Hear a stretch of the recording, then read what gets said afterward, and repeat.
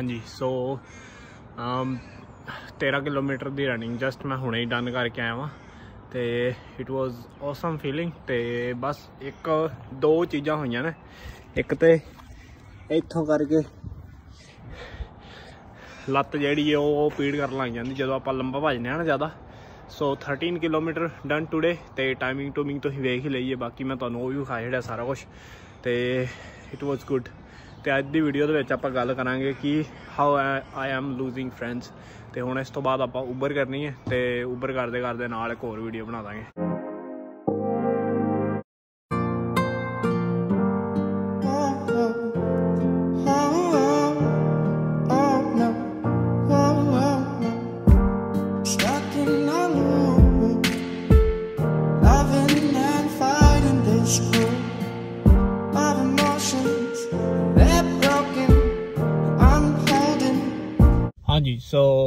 ਅਸੀਂ ਉਬਰ ਕਰਨ ਦਾ ਆ ਤੇ ਹੁਣੇ ਅਜੇ ਹੀ ਸਟਾਰਟ ਕੀਤਾ ਸੀ ਕੰਮ। ਤੇ ਅੱਜ ਦੀ ਜਿਹੜੀ ਵੀਡੀਓ ਦਾ ਟੌਪਿਕ ਹੈ, ਉਹਦੇ ਵਿੱਚ ਮੈਂ ਗੱਲ ਕਰਨੀ ਸੀ ਕਿ ਜਿਹੜਾ ਵੀਡੀਓ ਦਾ ਟਾਈਟਲ ਹੈ ਆਫ ਕੋਰਸ ਕਿ how I am losing my friend actual ਦੇ ਵਿੱਚ ਇਹ ਇਕੱਲੀ ਮੇਰੀ ਸਟੋਰੀ ਨਹੀਂ ਹੈਗੀ, ਇਹ ਸਾਰਿਆਂ ਦੀ ਸਟੋਰੀ ਹੈ। ਸੋ ਕੱਲ ਮੈਂ ਆਪਣੇ ਫਰੈਂਡ ਨਾਲ ਗੱਲ ਕਰਨ ਦਿਆ ਸੀ ਤੇ ਉਹਦੇ ਨਾਲ ਗੱਲ ਕਰਦੇ ਕਰਦੇ ਹੀ ਮੇਰੇ ਦਿਮਾਗ ਦੇ ਵਿੱਚ ਟੌਪਿਕ ਆਇਆ ਕਿ ਕਿਵੇਂ ਸਾਰੇ ਹੁਣ ਇਹਦੀ, ਇਹ ਜਿਹੜੀ ਸਟੋਰੀ ਹੈ ਸਟਾਰਟ ਹੁੰਦੀ ਹੈ ਐਕਚੁਅਲ ਚ ਸਾਰੀ ਪੀਆਰ ਦੇ ਪੀਆਰ ਦੇ ਪ੍ਰੋਸੈਸ ਦੇ ਵਿੱਚ, ਹਨਾ, ਕਿ ਪਹਿਲਾਂ ਜਦੋਂ ਮੈਂ ਇੱਥੇ ਆਇਆ ਸਾਂ, ਮੈਂ ਮੈਲਬਨ ਦੇ ਵਿੱਚ ਆਇਆ ਹਾਂ। ਸੋ ਮੈਲਬਨ ਦੇ ਵਿੱਚ ਆਇਆ, ਉੱਥੇ ਮੈਂ 2-3 ਸਾਲ 4 ਸਾਲ ਰਿਹਾ, ਉੱਥੇ ਮੈਂ ਆਪਣੇ ਸਾਰੇ ਫਰੈਂਡ ਬਣਾਏ, ਸਾਰਾ ਫਰੈਂਡ ਸਰਕਲ ਬਣਾਇਆ, ਹਨਾ, ਜਿਨ੍ਹਾਂ ਨਾਲ ਸਟੱਡੀ ਕਰਨੇ ਹਾਂ। ਉਹ ਵੀ ਉੱਥੇ ਨੇੜੇ ਤੇੜੇ ਰਹਿੰਦੇ ਹਨ। ਉਸ ਤੋਂ ਬਾਅਦ ਹੋਰ ਵੀ ਯਾਰ ਦੋਸਤ ਬਣਾਏ ਜਿਨ੍ਹਾਂ ਨਾਲ ਮੈਂ ਰਹਿਣਾ ਹੁੰਦਾ, ਹਨਾ? ਮਤਲਬ ਇੱਕ ਹਿਸਾਬ ਦਾ ਸਰਕਲ ਜਿਹਾ ਬਣ ਗਿਆ, ਉੱਥੇ ਵਧੀਆ ਜੀ ਲੱਗਾ ਸੀ ਮੈਲਬਨ ਦੇ ਵਿੱਚ। ਸੋ ਉਸ ਤੋਂ ਬਾਅਦ ਹੋਇਆ ਕੀ ਕੀ ਰੂਲਸ ਚੇਂਜ ਹੋ ਗਏ? ਜਿਵੇਂ ਕਿ ਆਸਟ੍ਰੇਲੀਆ ਦੇ ਵਿੱਚ ਹੁੰਦੇ ਰਹਿੰਦੇ ਨੇ ਹਰ 6 ਮਹੀਨੇ ਤੋਂ ਬਾਅਦ। ਸੋ ਉਹਦੇ ਕਰਕੇ ਮੈਨੂੰ ਮੂਵ ਹੋਣਾ ਪੈ ਗਿਆ ਜਿਲੋਂਗ ਦੇ ਵਿੱਚ। ਸੋ ਜਿਲੋਂਗ ਐਕਚੁਅਲ ਦੇ ਵਿੱਚ ਜੇ ਤੁਹਾਨੂੰ ਨਹੀਂ ਪਤਾ ਇੰਡੀਆ ਤੋਂ ਵੀਡੀਓ ਵੇਖ ਰਹੇ ਹੋ ਤੇ 60-70 ਕਿਲੋਮੀਟਰ ਦੂਰ ਹੈ। ਜ਼ਿਆਦਾ ਦੂਰ ਨਹੀਂ ਹੈਗਾ ਮੈਲਬਨ ਤੋਂ ਬਟ ਫਿਰ ਵੀ 70 ਕਿਲੋਮੀਟਰ ਘੰਟੇ ਦੀ ਡਰਾਈਵ ਪੈ ਜਾਂਦੀ ਹੈ। ਸੋ ਇਟਸ ਅਲੋਟ ਐਂਡ ਹੁਣ ਉਹਦੇ ਨਾਲ ਹੋਇਆ ਕੀ, ਕਿ ਸਾਰਿਆਂ ਨੂੰ ਹੀ ਰੀਜਨਲ ਏਰੀਆਜ਼ ਦੇ ਵਿੱਚ ਮੂਵ ਹੋਣਾ ਪੈ ਗਿਆ। ਸੋ ਇਸ ਟਾਈਮ ਆਸਟ੍ਰੇਲੀਆ ਦੀ ਕੰਡੀਸ਼ਨ ਇਹ ਵੇ ਕਿ ਜੇ ਤੁਸੀਂ ਪੀਆਰ ਲੈਣੀ ਹੈ ਤੇ ਮੋਸਟ ਆਫ ਦਾ ਲੋਕਾਂ ਨੂੰ ਰੀਜਨਲ ਏਰੀਆਜ਼ ਦੇ ਵਿੱਚ ਮੂਵ ਹੋਣਾ ਪੈਂਦਾ। ਹੈ ਤੇ ਉਹਦੇ ਲਈ ਸਾਨੂੰ ਇੱਕ ਜੌਬ ਲੱਭਣੀ ਪੈਂਦੀ ਹੈ ਜੌਬ ਤੋਂ EMPLOYER ਤੋਂ ਸਾਨੂੰ ਲੈਟਰ ਲੈਣਾ ਪੈਂਦਾ ਵੀ ਹਾਂ, ਇਹ ਬੰਦਾ ਸਾਡੇ ਕੋਲ ਕੰਮ ਕਰ ਰਿਹਾ, ਹਨਾ। ਸੋ ਕਿਸੇ ਨੂੰ ਜੌਬ ਕਿਹੜੇ ਰੀਜਨਲ ਏਰੀਆ ਦੇ ਵਿੱਚ ਲੱਭੀ? ਕੋਈ 200 ਕਿਲੋਮੀਟਰ ਦੂਰ ਹੈ ਕੋਈ 400 ਕਿਲੋਮੀਟਰ ਦੂਰ ਹੈ ਕਿਉਂਕਿ ਆਸਟ੍ਰੇਲੀਆ ਬਹੁਤ ਵੱਡਾ ਹੈ ਸੋ ਇਸ ਕਰਕੇ ਹੁਣ ਜਿੰਨੇ ਵੀ ਮੇਰੇ ਫਰੈਂਡ ਨੇ, ਕੋਈ ਮੈਲਬਨ ਤੋਂ 200 ਕਿਲੋਮੀਟਰ ਦੂਰ ਹੈ ਕੋਈ 400 ਕਿਲੋਮੀਟਰ ਦੂਰ ਹੈ ਸੋ ਇਸ ਕਰਕੇ ਹੁਣ ਜਿਹੜੇ ਏਰੀਆ ਦੇ ਵਿੱਚ ਮੈਂ ਰਹਿਣਾ ਵਾ, ਜਲੋਂਗ ਦੇ ਵਿੱਚ ਐਟ ਦਾ ਮੂਮੈਂਟ ਇੱਥੇ ਮੇਰਾ ਕੋਈ ਵੀ ਯਾਰ ਦੋਸਤ ਨਹੀਂ ਹੈਗਾ। ਸੋ ਵਿਚ ਇਜ਼ ਐਕਚੁਅਲ ਦੇ ਵਿੱਚ ਮਾੜੀ ਗੱਲ ਵੀ ਇੱਕ, ਕਿਉਂਕਿ ਜਦੋਂ ਵੀ, ਤਾਂ ਹੀ ਤੁਸੀਂ ਮੇਰੇ ਵਲੌਗਸ ਦੇ ਵਿੱਚ ਵੀ ਹੋਰ ਕਿਸੇ ਨੂੰ ਵੇਖਦੇ ਨਹੀਂਗੇ, ਕਿਉਂਕਿ ਇੱਥੇ ਐਕਚੁਅਲ ਦੇ ਵਿੱਚ ਇਸ ਟਾਈਮ ਮੇਰਾ ਕੋਈ ਯਾਰ ਦੋਸਤ ਅਜੇ ਨਵਾਂ ਬਣਿਆ ਨਹੀਂਗਾ। ਤੇ ਜਿੱਥੇ ਮੈਂ ਕੰਮ ਕਰਨਾ ਵਾ, ਉਹ ਗੋਰੇ ਨੇ ਆਫ ਕੋਰਸ ਉਹਨਾਂ ਨਾਲ ਉਹ ਕਹਿੰਦੇ ਨੇ ਮੈਨੂੰ ਵੀ ਆ ਜਾ ਕਰ, ਸਾਡੇ ਨਾਲ ਘੁੰਮਿਆ ਫਿਰਿਆ ਬਟ ਉਹਨਾਂ ਨਾਲ ਆਪਣੀ ਜਿਹੜੀ ਹੁੰਦੀ ਹੈ ਨਾ, ਇੱਕ ਮੱਤ ਇੰਨੀ ਨਹੀਂ ਰਲਦੀ ਗੋਰਿਆਂ ਨਾਲ, ਕਿਉਂਕਿ ਗੋਰੇ ਉਹ ਸਿਰਫ ਆਪਣੇ ਹਿਸਾਬ ਦੀਆਂ ਗੱਲਾਂ ਕਰਦੇ ਨੇ। ਉਹ ਮਤਲਬ ਉਹਨਾਂ ਨਾਲ ਕੰਪਨੀ ਜੇ ਹੁੰਦੀ ਹੈ ਨਾ, ਰਲਦੀ ਨਹੀਂਗੀ ਸੋ ਇਸ ਕਰਕੇ ਸਾਡੀ ਜਿਹੜੀ ਉਹ ਦੇਸੀਆਂ ਨਾਲ ਹੀ ਜਿਹੜੀ ਵਧੀਆ ਹੁੰਦੀ ਹੈ ਕੋਆਰਡੀਨੇਸ਼ਨ ਤੇ that's how I lost pretty much 올 my friend ਤੇ ਜਿਹੜੇ ਹੋਰ ਵੀ ਮੇਰੇ ਫਰੈਂਡਸ ਨੇ, ਉਹ ਵੀ ਜਿਹੜੇ ਦੂਜੇ ਏਰੀਆ ਦੇ ਵਿੱਚ ਮੂਵ ਹੋਏ ਨੇ, ਉਹ ਵੀ ਸੇਮ ਹੀ ਚੀਜ਼ ਸਾਰੇ ਫੀਲ ਕਰ ਰਹੇ ਨੇ ਕਿ ਸਾਰਿਆਂ ਦਾ ਸਰਕਲ ਜਿਵੇਂ ਟੁੱਟ ਗਿਆ। ਤੇ ਕੋਈ ਵੀ ਉਹਨਾਂ ਦੇ ਜਿਵੇਂ ਯਾਰ ਦੋਸਤ ਰਹੇ ਨਹੀਂਗੇ ਹਨਾ, ਸਾਰੇ ਇਕੱਲੇ ਇਕੱਲੇ ਜੇ ਹੋ ਗਏ ਨੇ। ਸੋ ਨਾਓ ਆਈ ਥਿੰਕ ਵੀ ਹੁਣ ਇੱਥੇ ਹੋਰ, ਇੱਥੇ ਹੁਣ ਆਈ ਡੋਨਟ ਨੋ ਹੁਣ ਕੋਈ ਯਾਰ ਦੋਸਤ ਬਣੇਗਾ ਵੀ ਕਿ ਨਹੀਂ ਬਣੇਗਾ ਆਈ ਡੋਨਟ ਨੋ ਕਿਉਂਕਿ ਮੈਂ ਜ਼ਿਆਦਾ ਫੋਕਸ ਇਸ ਟਾਈਮ ਕਰ ਰਿਹਾ, ਕਿਉਂਕਿ ਜਿਹੜੇ ਦਿ- ਮੇਰੇ ਦਿਨ ਫ੍ਰੀ ਹੁੰਦੇ ਨੇ, ਉਹਨਾਂ 'ਚ ਮੈਂ ਵੀਡੀਓਜ਼ ਬਣਾ ਲੈਣਾ ਤੇ ਜਾਂ ਥੋੜਾ ਬਹੁਤਾ ਕੰਮ ਕਰ ਲਈਦਾ, ਬਾਕੀ 5 ਦਿਨ ਆਪਣਾ ਫੁੱਲ ਟਾਈਮ ਕੰਮ ਹੁੰਦਾ। ਸੋ ਕੰਮ ਤੋਂ ਘਰ ਤੇ ਉਸ ਤੋਂ ਬਾਅਦ ਸਵੇਰੇ ਥੋੜੀ ਬਹੁਤੀ ਜਿਮ ਜੂਮ ਰਨਿੰਗ ਐਂਡ ਦੈਟਸ 올 ਤਾਂ ਹੀ ਮੇਰੇ ਵਲੌਗਸ ਜਿਹੜੇ ਹੁੰਦੇ ਨੇ ਉਹ ਜ਼ਿਆਦਾ ਇਨਫੋਰਮੇਟ ਇਨਫੋਰਮੇਸ਼ਨ ਦੇ ਉੱਤੇ ਰਿਲੇਟਡ ਹੁੰਦੇ ਨੇ। ਇੱਕ ਹੋਰ ਉਹਦੇ ਵਿੱਚ ਕੋਈ ਹੁੰਦਾ ਨਹੀਂ ਗਾਣਾ, ਜਿਵੇਂ ਹੋਰ ਮੈਂ ਵੇਖਣਾ ਵਾ ਵਲੌਗ ਵਲੌਗਰ ਸਾਰੇ ਆਪਣੇ ਜਿਹੜੇ ਆਸਟ੍ਰੇਲੀਆ ਦੇ ਵਿੱਚ ਹੈਗੇ ਨੇ, ਵੀਰ ਭਰਾ ਸਾਰੇ।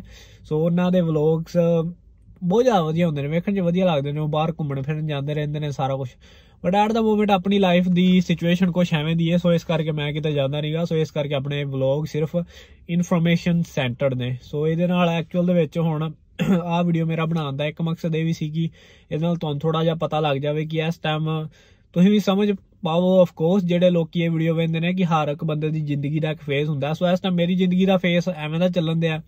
ਸੋ ਮੇਰੇ, ਮੇਰੀ ਕੋਈ ਇੰਟਰੈਕਸ਼ਨ ਹੈ ਨਹੀਂ ਜ਼ਿਆਦਾ ਲੋਕਾਂ ਨਾਲ, ਕੋਈ ਸੋਸ਼ਲਾਈਜ਼ ਹਜੇ ਮੈਂ ਕਰ ਨਹੀਂ ਰਿਹਾ, ਹਨਾ? ਸੋ ਆਫ ਕੋਰਸ ਇਹ ਵਾਲਾ ਫੇਸ ਪਾਰ ਹੋ ਜਾਏਗਾ, ਛੇਤੀ ਹੋਈ। ਆਈ ਹੋਪ ਹੋਰ 2-4 ਮਹੀਨਿਆਂ ਦੇ ਵਿੱਚ ਉਸ ਤੋਂ ਬਾਅਦ ਆਈ ਥਿੰਕ ਕੰਟੈਂਟ ਹੈ ਜਿਹੜਾ ਆਪਣਾ, ਉਹ ਹੋਰ ਵੀ ਜ਼ਿਆਦਾ ਵਧੀਆ ਹੋ ਜਾਏਗਾ। ਸੋ ਬਹੁਤ ਵਧੀਆ ਹੋ ਜਾਣਾ ਸੀ ਐਕਚੁਅਲ ਦੇ ਵਿੱਚ ਜਦੋਂ ਮੈਂ ਜੇ ਆਈ ਚੈਨਲ ਮੈਂ 1 ਸਾਲ ਪਹਿਲਾਂ ਸਟਾਰਟ ਕੀਤਾ ਹੁੰਦਾ, ਜਦੋਂ ਮੇਰਾ ਇੱਕ ਬੜਾ ਪੱਕਾ ਯਾਰ ਦੋਸਤ ਤੇ ਹੁਣ ਉਹ ਇੰਡੀਆ ਤੋਰੀਆ ਵਾਪਸ ਪਰਮਨੈਂਟਲੀ ਸੋ ਕੰਟੈਂਟ ਬਹੁਤ ਵਧੀਆ ਹੋ ਸਕਦਾ ਸੀ, ਜੇ ਮੈਂ ਉਹਨਾਂ ਨਾਲ ਗੱਲ ਕਰ ਰਿਹਾ ਸੀ ਆ ਚੈਨਲ ਮੈਂ ਉਦੋਂ ਸਟਾਰਟ ਕੀਤਾ ਹੁੰਦਾ, ਜਦੋਂ ਅਸੀਂ ਦੋ ਤਿੰਨ ਯਾਰ ਦੋਸਤ ਇਕੱਠੇ ਰਹਿੰਦੇ ਹਾਂ. ਐਂਡ ਉਦੋਂ ਕਾਫੀ ਵਧੀਆ ਹੋ ਸਕਦਾ ਸੀ, ਉਦੋਂ ਅਸੀਂ ਕਾਫੀ ਜ਼ਿਆਦਾ ਫਨ ਕਰ ਰਹੇ ਹਾਂ ਚਿਲ ਕਰ ਰਹੇ ਹਾਂ ਥੋੜਾ ਬਹੁਤਾ ਘੁੰਮ ਫਿਰ ਵੀ ਲੈਨੇ ਹਾਂ, ਆਪਸ 'ਚ ਵੀ ਕਾਫੀ ਮਸਤੀ ਕਰਦੇ ਸੀ। ਬਟ ਹੁਣ ਇਹ ਜਿਹੜੀ ਉਹ ਕਹਿੰਦੇ ਨੇ ਨਾ ਜ਼ਿੰਦਗੀ ਦਾ ਜਿਹੜਾ ਫੇਸ ਹਮੇਸ਼ਾ ਚੇਂਜ ਹੋ ਜਾਂਦਾ, ਇਹ ਵੀ ਚੇਂਜ ਹੋ ਜਾਏਗਾ ਛੇਤੀ। ਐਂਡ ਡਿਫਰੈਂਟ ਕਾਈਂਡ ਦਾ ਕੰਟੈਂਟ ਤੇ ਵਲੌਗਸ ਤੇ ਇਨਫੋਰਮੇਸ਼ਨ ਵਾਲੀਆਂ ਵੀਡੀਓ ਵੀ ਆਫ ਕੋਰਸ ਤੁਹਾਨੂੰ ਵੇਖਣ ਨੂੰ ਮਿਲਣਗੀਆਂ। ਐਂਡ uh, ਬਸ ਇਦਾਂ ਹੀ ਆਪਣੇ ਹੁਣ ਸਾਰੇ ਫਰੈਂਡਸ ਹੈਗੇ ਨੇ ਫਰੈਂਡਸ ਫੋਨ ਤੇ ਗੱਲ ਹੁੰਦੀ ਹੈ ਬਟ ਕਿਸੇ ਨਾਲ ਵੀ ਉਦਾਂ ਨਾ ਮਿਲੇ ਮਿਲੇ ਨਹੀਂਗੇ ਕਾਫੀ ਟਾਈਮ ਹੋ ਗਿਆ, ਇੱਕ ਮੇਰਾ ਹੈਗਾ ਯਾਰ ਦੋਸਤ, ਉਹਨੂੰ ਮੈਂ ਮਿਲਿਆ, ਮਹੀਨਾ ਕੁ ਹੋ ਗਿਆ ਆਈ ਥਿੰਕ ਉਹਨੂੰ ਵੀਡੀਓਸ ਵੀ ਬਣਾਈਆਂ ਨੇ ਜਿਹਦੇ ਨਾਲ ਆਈਟੀ ਦੀਆਂ। ਐਂਡ ਬਸ ਇਹੀ ਸੀ, ਇੱਕ ਅਪਡੇਟ ਦੇਣੀ ਸੀ ਆਪਣੀ ਜ਼ਿੰਦਗੀ ਦੇ ਬਾਰੇ ਚ, ਤਾਂ ਕਿ ਤੁਸੀਂ ਵੀ ਬੈਟਰ ਅੰਡਰਸਟੈਂਡ ਕਰ ਸਕੋ ਤੇ ਅੱਗੇ ਕੀ ਐਕਸਪੈਕਟ ਕਰਨਾ ਹੈ ਉਹ ਚੈਨਲ ਤੋਂ। ਸੋ ਚੈਨਲ ਦਾ ਇਸ ਟਾਈਮ ਤੇ ਸੀਨ ਇਹ ਹੀ ਹੈ। ਦਿਮਾਗ ਦੇ ਵਿੱਚ ਚੱਲ ਤੇ ਕਾਫੀ ਕੁਝ ਰਿਹਾ ਬਟ ਇਸ ਟਾਈਮ ਤੇ ਇਨਫੋਰਮੇਟਿਵ ਵੀਡੀਓਜ਼ ਤੇ ਵਲੌਗਸ ਜਿਹੜੇ ਆਪਣੇ ਪਹਿਲੇ ਦਿਨ ਤੋਂ ਜਿਹੜਾ ਸੈਂਟਰਡ ਰਿਹਾ ਹੈ ਆਪਣੇ ਚੈਨਲ ਦਾ, ਉਹ ਹੀ ਚੱਲ ਰਿਹਾ ਇਸ ਟਾਈਮ ਐਂਡ ਬਸ ਇਹ ਇਨਫੋਰਮੇਸ਼ਨ ਸ਼ੇਅਰ ਕਰਨੀ ਸੀ ਨਿੱਕੀ ਜੀ। ਐਂਡ ਹੁਣ ਮੈਂ ਉਬਰ ਕਰਨ ਦਿਆ ਵਾਂ। ਉਬਰ ਕਰਦੇ ਕਰਦੇ ਉਹ ਹੀ ਹਨਾ ਕੁਝ ਹੁੰਦਾ ਤੇ ਹੈ ਨਹੀਂ ਐਡਾ ਖਾਸ। ਉਬਰ ਵਾਲੀਆਂ ਵੀਡੀਓ ਜੇ ਤੁਸੀਂ ਚੈੱਕ ਨਹੀਂ ਕੀਤੀਆਂ, ਤੇ ਉਹ ਵੀ ਕਰ ਸਕਦੇ ਹੋ। ਮੈਂ ਬਣਾਈਆਂ ਹੋਈਆਂ ਨੇ। ਆਲਰੇਡੀ ਵੀ ਕਿੰਨੇ ਕੁ ਪੈਸੇ ਬਣ ਜਾਂਦੇ ਨੇ, ਕਿੰਨਾ ਕਿੰਨਾ ਤੁਸੀਂ ਕਮਾ ਸਕਦੇ ਹੋ, ਸਾਰਾ ਕੁਝ so you can check that out channel ਤੇ ਉੱਤੇ। ਇੱਕ ਜਿਹੜੀ ਮੈਂ ਹੋਰ ਗੱਲ ਬਹੁਤ ਨੋਟਿਸ ਕੀਤੀ ਸੀ ਕਿ 80% ਆਫ ਦਾ ਪੀਪਲ ਚੈਨਲ ਦੇ ਉੱਤੇ ਉਹ ਸਬਸਕ੍ਰਾਈਬ ਨਹੀਂ ਕਰ ਰਹੇ ਚੈਨਲ ਨੂੰ, ਤੇ ਉਹ ਸਿਰਫ ਮਤਲਬ ਵੀਡੀਓ ਵੇਖਦੇ ਨੇ ਤੇ ਫਿਰ ਉਹ ਛੱਡ ਦਿੰਦੇ ਨੇ। ਸੋ ਜੇ ਤੁਸੀਂ ਵੀਡੀਓ ਤੁਹਾਨੂੰ ਵਧੀਆ ਲੱਗਦੀ ਹੈ ਆਫ ਕੋਰਸ ਇਨਫੋਰਮੇਸ਼ਨ ਤੁਹਾਨੂੰ ਲੱਗਦੀ ਹੈ ਕਿ ਤੁਹਾਡੇ ਕੰਮ ਆ ਸਕਦੀ ਹੈ ਸੋ ਪਲੀਜ਼ ਸਬਸਕ੍ਰਾਈਬ ਦਾ ਚੈਨਲ ਤੇ ਵੀਡੀਓ ਨੂੰ ਲਾਈਕ ਵੀ ਜਰੂਰ ਕਰਿਆ ਕਰੋ ਤੇ ਆਪਣੀ ਕੁਐਰੀ ਤੁਸੀਂ ਕਮੈਂਟ ਦੇ ਵਿੱਚ ਛੱਡ ਸਕਦੇ ਹੋ ਨਾ ਕੋਈ ਵੀ। ਤੇ ਬਸ, ਅੱਜ ਦੀ ਵੀਡੀਓ ਦੇ ਇਹਨਾਂ ਵਿੱਚ ਇੰਨਾ ਹੀ। ਹੁਣ ਮੇਰੇ ਦਿਨ ਦੇ ਵਿੱਚ ਵੀ ਤੁਹਾਨੂੰ ਦੱਸ ਦੇਣਾ ਅੱਜ ਤੋਂ ਬਾਅਦ ਕੁਝ ਨਹੀਂ ਹੋਣਾ ਖਾਸ। ਆਪਾਂ ਉਬਰ ਕਰਨੀ ਹੈ ਇਸ ਤੋਂ ਬਾਅਦ ਮੈਂ ਮੇ ਵੀ ਇੱਕ ਹੋਰ ਵੀਡੀਓ ਬਣਾਦਾ ਬਾਰਡਰ ਵਾਲੀ ਅੱਜ, ਕਿਉਂਕਿ ਬਾਰਡਰ ਦੇ ਉੱਤੇ ਕੁਝ ਨਵੀਆਂ ਅਪਡੇਟਸ ਆਈਆਂ ਨੇ। ਐਂਡ ਉਹ ਵਾਲੀ ਵੀਡੀਓ ਬਣਾਵਾਂਗੇ ਉਬਰ ਕਰਾਂਗੇ ਥੋੜਾ ਜਿਹਾ ਉਹ ਵਾਲੀ ਵੀਡੀਓ ਬਣਾ ਕੇ ਫਿਰ ਕੁਝ ਹੋਰ ਕੰਮ ਨੇ ਉਹ ਕਰਕੇ and that's pretty much it ਹੋਰ ਕੁਝ ਹੈ ਨਹੀਂ ਖਾਸ। ਐਂਡ ਬਸ ਇੰਨਾ ਹੀ। ਆਈ ਹੋਪ ਕਿ ਤੁਸੀਂ ਸਾਰੇ ਠੀਕ ਠਾਕ ਹੋਵੋਗੇ। ਵੀਡੀਓ ਬਣਾਉਣ ਦੇ ਚੱਕਰ 'ਚ ਹੋਣਾ ਜੇ ਮੇਰਾ ਨੁਕਸਾਨ ਹੋ ਗਿਆ, ਕਿਉਂਕਿ ਜਦੋਂ ਮੈਂ ਵੀਡੀਓ ਬਣਾ ਰਿਹਾ ਸੀ ਤੇ ਮੈਨੂੰ ਜੋਬ ਆਈ ਸੀ ਉਬਰ ਦੀ। ਬਟ ਉਹ ਜੋਬ ਕਿਉਂਕਿ ਉਹਦੀ ਆਵਾਜ਼ ਨਹੀਂ ਆਈ ਮੈਨੂੰ, ਕਿਉਂਕਿ ਮੇਰੇ ਕੋਲ ਫੋਨ ਇੱਕੋ ਹੀ ਹੈ ਐਟ ਦਾ ਮੋਮੈਂਟ ਸੋ ਉਹਦੇ ਵਿੱਚ ਹੀ ਮੈਂ ਵੀਡੀਓ ਬਣਾਉਣਾ ਵਾ ਤੇ ਉਹਦੇ ਤੋਂ ਮੈਂ ਉਬਰ ਕਰ ਰਿਹਾ। ਤੇ ਫੋਨ ਐਕਚੁਅਲ ਦੇ ਵਿੱਚ ਮੇਰੇ ਕੋਲ ਹੈਗਾ ਬਟ ਉਹਦੇ ਵਿੱਚ ਕੁਆਲਿਟੀ ਵਧੀਆ ਨਹੀਂ ਆਉਂਦੀ। ਸੋ ਇਹ ਵਾਲਾ ਫੋਨ ਥੋੜਾ ਨਵਾਂ ਹੈ, ਇਹਦੇ ਵਿੱਚ ਕੁਆਲਿਟੀ ਵਧੀਆ ਆਉਂਦੀ ਹੈ ਵੀਡੀਓਜ਼ ਦੀ। ਸੋ ਉਬਰ ਦੀ ਜੋਬ ਮਿਸ ਹੋ ਗਈ ਹੈ ਤੇ ਨੁਕਸਾਨ ਹੋ ਗਿਆ ਆਪਣਾ ਇੱਕ। ਨਿੱਕਾ ਜਿਹਾ ਜੋਬ ਜੋ ਵੀ ਸੀ ਵਗੈਰਾ ਵਗੈਰਾ ਬਟ ਉਬਰ ਦਾ ਇੱਕ ਹੋਰ ਵੀ ਚੱਕਰ ਨੁਕਸਾਨ ਇਹ ਵੇ ਕਿ ਜਦੋਂ ਤੁਸੀਂ ਇੱਕ ਜੋਬ ਮਿਸ ਕਰ ਦਿੰਦੇ ਹੋ, ਫਿਰ ਉਹ ਤੁਹਾਨੂੰ ਨਾ ਜੋਬ ਨਹੀਂ ਦਿੰਦੇ ਕਾਫੀ ਚਿਰ, ਮੰਨ ਲਓ ਅੱਧਾ ਘੰਟਾ ਘੰਟਾ। ਜੇ ਤੁਸੀਂ ਜੋਬ ਡਿਸਮਿਸ ਐਕਸੈਪਟ ਨਹੀਂ ਕਰਦੇ ਜਾਂ ਜੇ ਤੁਹਾਡੇ ਤੋਂ ਜੋਬ ਲੰਘ ਜਾਂਦੀ ਹੈ ਫਿਰ ਉਹ ਤੁਹਾਨੂੰ ਜੋਬ ਹੋਰ ਦਿੰਦੇ ਨਹੀਂ ਹੈ ਨਾ?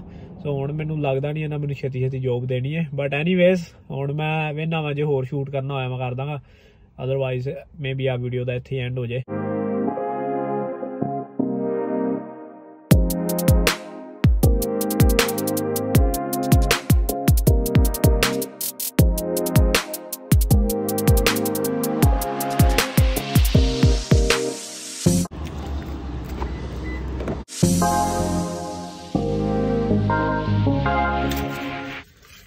ਜੋਬਾਂ ਜੋਬਾਂ ਤਾਂ ਮਿਸ ਹੋ ਗਈਆਂ। YouTube ਦੇ ਚੱਕਰ ਦੇ ਵਿੱਚ ਵੀਡੀਓ ਬਣਾਉਣ ਦੇ ਚੱਕਰ 'ਚ ਉਦੋਂ ਬਾਅਦ ਕੋਈ ਜੋਬ ਨਹੀਂ ਆਈ। ਬਟ ਹੁਣ ਕਾਫੀ ਪੀਣ ਦਾ ਟਾਈਮ ਹੋ ਗਿਆ ਸੋ ਮੈਂ ਕਿਹਾ ਕਾਫੀ ਪੀਏ ਤੇ 7-11 ਦਾ Uber ਦੇ ਨਾਲ ਪੁਰਾਣਾ ਰਿਸ਼ਤਾ ਹੈ, ਕਿਉਂਕਿ ਜਦੋਂ ਵੀ 7-11 ਤੇ ਜਾ ਕੇ 1 ਡਾਲਰ ਲਾ ਦੋ ਤੇ ਉਸ ਤੋਂ ਬਾਅਦ ਜੋਬ ਆ ਜਾਂਦੀ Uber 'ਚ। ਹੁਣ ਮੈਨੇ ਆ ਵੀ ਜੋਬ ਆਉਂਦੀ ਹੈ ਕਿ ਨਹੀਂ ਆਉਂਦੀ। ਹਾਂਜੀ ਸੋ ਅੱਗੇ ਹੁਣ ਜਿਹੜੀ ਵੀਡੀਓ ਚੱਲਣ ਵਾਲੀ ਹੈ ਉਹਦੇ ਲਈ ਮੈਂ ਪਹਿਲਾਂ ਹੀ ਸੌਰੀ ਕਹਿ ਰਿਹਾ ਕਿਉਂਕਿ ਉਹ ਫੁਟੇਜ ਬਹੁਤ ਜ਼ਿਆਦਾ ਇੰਜਨ ਹਿੱਲ ਰਹੀ ਹੈ। ਬਟ ਮੈਨੂੰ ਉਹ ਵੀਡੀਓ ਯੂਜ਼ ਕਰਨੀ ਪੈਣੀ ਸੀ ਕਿਉਂਕਿ ਜੇ ਮੈਂ ਉਹ ਯੂਜ਼ ਨਾ ਕਰਦਾ ਤਾਂ ਸਾਰੀ ਵੀਡੀਓ ਦੀ ਮਤਲਬ ਕੋਈ ਸੈਂਸ ਨਹੀਂ ਹੈ ਬਣਨੀ ਵਿੱਚੋਂ 2-3 ਮਿੰਟ ਦੀ ਵੀਡੀਓ ਕੱਟੀ ਜਾਣੀ ਸੀ। ਸੋ ਬਹੁਤ ਜ਼ਿਆਦਾ ਇੰਜਨ ਹਿੱਲ ਰਹੀ ਹੈ ਬਟ ਉਹਦੇ ਲਈ ਪਹਿਲਾਂ ਤੋਂ ਹੀ ਸੌਰੀ ਹਾਂਜੀ ਸੋ ਦੋ ਜੋਬਾਂ ਆਪਾਂ ਕਰਤੀਆਂ ਨੇ ਉਬਰ ਦੇ ਵਿੱਚ ਤੇ ਹੁਣ ਤੁਹਾਨੂੰ ਵੀਡੀਓ ਕੁਆਲਿਟੀ ਦਾ ਤਾਂ ਫ਼ਰਕ ਪਤਾ ਲੱਗ ਹੀ ਰਿਹਾ ਹੋਗਾ ਕਿਉਂਕਿ ਹੁਣ ਸਿਰਫ ਇਹ ਫ਼ਰਕ ਹੈ ਕੁਆਲਿਟੀ ਦਾ ਆਈਫੋਨ 8 ਚੋਂ ਹੁਣ ਮੈਂ ਰਿਕਾਰਡ ਕਰ ਰਿਹਾ ਤੇ ਪਹਿਲਾਂ ਜਿਹੜੀ ਵੀਡੀਓਜ਼ ਤੁਸੀਂ ਵੇਖ ਰਹੇ ਸੋ ਉਹ ਹੋ ਰਹੀਆਂ ਸਨ ਆਈਫੋਨ 11 ਚੋਂ। ਸੋ ਇੰਨਾ ਜ਼ਿਆਦਾ ਫ਼ਰਕ ਹੈ ਆਈਫੋਨ ਦੀ ਕੁਆਲਿਟੀਜ਼ ਦੇ ਵਿੱਚ ਆਈਫੋਨ 8 ਤੇ ਆਈਫੋਨ 11 ਦੀ ਵਿੱਚ। ਐਂਡ ਬਟ ਹੁਣ ਮੈਂ ਇਹਦੇ ਤੋਂ ਹੀ ਰਿਕਾਰਡ ਕਰਾਂਗਾ ਅੱਜ ਦੀ ਜਿਹੜੀ ਵੀ ਵੀਡੀਓ ਹੋਏਗੀ ਕਿਉਂਕਿ ਪਹਿਲਾਂ ਹੀ ਉਹਦੇ ਚੱਕਰ ਦੇ ਵਿੱਚ ਮੇਰਾ ਨੁਕਸਾਨ ਹੋ ਗਿਆ ਕਾਫੀ ਜ਼ਿਆਦਾ। ਕਿਉਂਕਿ YouTube ਤੇ ਅਜੇ ਆਪਾਂ ਨੂੰ ਕੋਈ ਪੈਸਾ ਦੇ ਨਹੀਂ ਰਿਹਾ।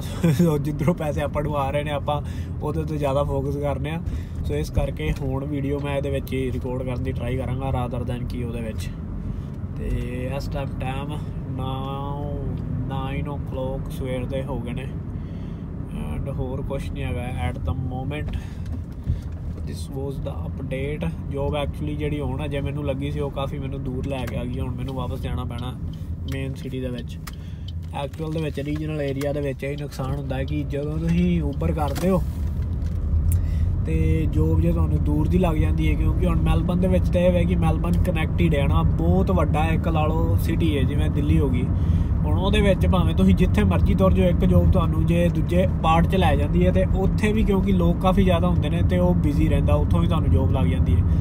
ਬਟ ਹੁਣ ਨੋਰਮਲ ਇਹਦੇ ਵਿੱਚ ਰੀਜਨਲ ਏਰੀਆ ਦੇ ਵਿੱਚ ਇਹ ਹੁੰਦਾ ਕਿ ਹੁਣ ਐਡੀ ਛੋਟੀ ਸਿਟੀ ਹੁੰਦੀ ਹੈ ਤੇ ਬਾਕੀ ਏਰੀਆਸ ਜਿਹੜੇ ਹੁਣ ਦੂਰ ਹੁੰਦੇ ਨੇ ਨਾ ਥੋੜੇ ਜੇ ਸੋ ਹੁਣ ਜੇ ਤੁਹਾਨੂੰ, ਹੁਣ ਜੇ ਮੈਂ ਇੱਥੇ ਆ ਗਿਆ ਵਾਂ ਦੂਰ ਵਾਲੇ ਏਰੀਆ ਦੇ ਵਿੱਚ ਤਾਂ ਮੈਨੂੰ ਜੋਬ ਆਫ ਕੋਰਸ ਇੱਥੋਂ ਹੁਣ ਵੈਰੀ ਲੈਸ ਚਾਂਸਸ ਕਿ ਮੈਨੂੰ ਜੋਬ ਲੱਗੇ।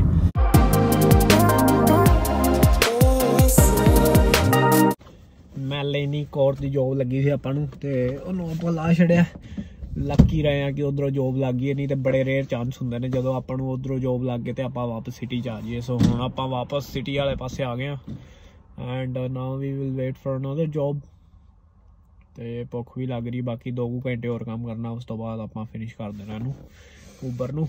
ਕਿਉਂਕਿ ਜ਼ਿਆਦਾ ਪੈਸੇ ਕਮਾਉਣਾ ਇਜ਼ ਨਾਟ ਗੁੱਡ ਜਦੋਂ ਬੰਦਾ ਜ਼ਿਆਦਾ ਪੈਸਾ ਕਮਾ ਲੈਂਦਾ ਨਾ, ਫਿਰ ਬੰਦੇ ਨੂੰ ਟੈਨਸ਼ਨ ਹੋ ਜਾਂਦੀ ਵੀ ਹੁਣ ਇਸ ਪੈਸੇ ਦਾ ਕਰਨਾ ਕੀ ਆਪਾਂ। So so that's it at the moment ਤੇ ਹੁਣ ਤੁਹਾਨੂੰ ਮਿਲਦੇ ਆ ਮੈਨੇ ਅਗਲੀ ਜੋਬ ਪਤਾ ਲੱਗਦੀ ਹੈ। ਮੈਂ ਫਿਰ ਉਸੇ ਫੋਨ ਨਾਲ ਰਿਕਾਰਡ ਕਰਨ ਲੱਗ ਗਿਆ, ਫਿਰ ਨਾ ਜੋਬ ਮਿਸ ਹੋ ਜਾਵੇ ਜੀ ਸੋ ਹੁਣ ਮੈਂ ਘਰ ਆ ਗਿਆ ਵਾਂ ਤੇ ਇਸ ਵੀਡੀਓ ਦਾ ਆਪਾਂ ਇੱਥੇ ਐਂਡ ਕਰਨੇ ਆ ਕਿਉਂਕਿ ਅੱਜ ਕੰਮ ਇੰਨਾ ਹੈ ਨਹੀਂ ਸੀ ਉਬਰ ਦਾ, ਕਿਉਂਕਿ ਅੱਜ ਟਿਊਜ਼ਡੇ ਸੀ ਐਂਡ ਮੈਂ ਸਟਾਰਟ ਕਰਨ ਚ ਵੀ ਥੋੜਾ ਲੇਟ ਹੋ ਗਿਆ 7:30 8 ਵਜੇ ਸਟਾਰਟ ਕੀਤਾ ਸੀ। ਯੂਜੂਲੀ ਮੈਂ 5 ਵਜੇ ਸਟਾਰਟ ਕਰਨਾ। ਸੋ 5 ਵਜੇ ਕਰਨ ਦਾ ਫਾਇਦਾ ਇਹ ਹੁੰਦਾ ਕਿ 5 ਵਜੇ ਬੱਸਾਂ ਬੁੱਸਾਂ ਨਹੀਂ ਚੱਲਦੀਆਂ ਹੁੰਦੀਆਂ, ਬੱਸਾਂ ਲੇਟ ਚੱਲਦੀਆਂ ਬਟ 7-8 ਵਜੇ ਬੱਸਾਂ ਵੀ ਚੱਲ ਜਾਂਦੀਆਂ ਫਿਰ ਉਹ ਇਸ ਕਰਕੇ ਅੱਜ ਕੰਮ ਨਹੀਂ ਸੀ। ਆਮ ਥਿੰਕਿੰਗ ਕਿ ਮੈਂ ਫਰਾਈਡੇ ਸੈਟਰਡੇ ਨਾਈਟ ਨੂੰ ਕਰਨਾ ਵਾ, ਉਧਰ ਵੀ ਮੈਂ ਟਰਾਈ ਕਰਾਂਗਾ ਕਿ ਜੇ ਵਲੌਗ ਬਣ ਗਿਆ ਬਟ ਪ੍ਰੋਬਲਮ ਇਹ ਹੁੰਦੀ ਹੈ ਕਿ ਮੈਂ ਉਹ ਦਿਨ ਕਾਫੀ ਜ਼ਿਆਦਾ ਥੱਕ ਜਾਂਦਾ ਵਾ। ਦਿਨੇ 10 ਵਜੇ ਤੋਂ ਲੈ ਕੇ ਰਾਤ ਦੇ 10 ਵਜੇ ਤੱਕ ਉਹ ਕਰੀਦਾ, ਫਿਰ ਉਬਰ ਕਈ ਵਾਰੀ ਸਟਾਰਟ ਕਰ ਦਿੰਦੀ ਹੈ। So I will try to make a vlog on Saturday Friday Saturday night ਅੱਜ ਦੀ ਵੀਡੀਓ ਦੇ ਵਿੱਚ ਇੰਨਾ ਹੀ ਆਈ ਹੋਪ ਕਿ ਤੁਹਾਨੂੰ ਵੀਡੀਓ ਵਧੀਆ ਲੱਗੀ ਹੋਊਗੀ। ਜੇ ਤੁਹਾਨੂੰ ਵੀਡੀਓ ਵਧੀਆ ਲੱਗੀ, ਕਮੈਂਟਾਂ ਦੇ ਵਿੱਚ ਜਰੂਰ ਦੱਸਿਓ। ਵੀਡੀਓ ਨੂੰ ਲਾਈਕ ਕਰ ਦਿਓ ਤੇ ਮੇਕ ਸ਼ੋਰ ਕਿ ਤੁਸੀਂ ਚੈਨਲ ਨੂੰ ਸਬਸਕ੍ਰਾਈਬ ਕਰੋ, ਕਿਉਂਕਿ ਬਹੁਤ ਸਾਰੀ ਜਨਤਾ ਸਬਸਕ੍ਰਾਈਬ ਨਹੀਂ ਕਰ ਰਹੀ। ਐਂਡ ਹੋਰ ਵੀ ਅੱਗੇ ਅੱਗੇ ਵਧੀਆ ਵੀਡੀਓਸ ਵਲੌਗਸ ਆਉਂਦੇ ਰਹਿਣਗੇ।